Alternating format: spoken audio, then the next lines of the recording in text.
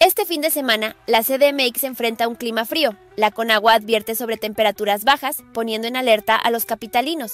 Abrígate bien y mantente informado. La SGRPC emitió alertas por bajas temperaturas desde el miércoles. Alcaldías como Coajimalpa, Tlalpan y Magdalena Contreras esperan entre 4 y 6 grados. Prepárate para enfrentar el frío adecuadamente. Además del frío, se esperan lluvias en zonas de la CDMX. La combinación de precipitaciones y bajas temperaturas requiere precauciones. Mantente seco, seguro y atento a las condiciones climáticas. Temperaturas mínimas rondarán los 6 grados. Este clima podría persistir, con nubes y claros. Usa ropa adecuada y sigue recomendaciones de autoridades locales para protegerte del frío.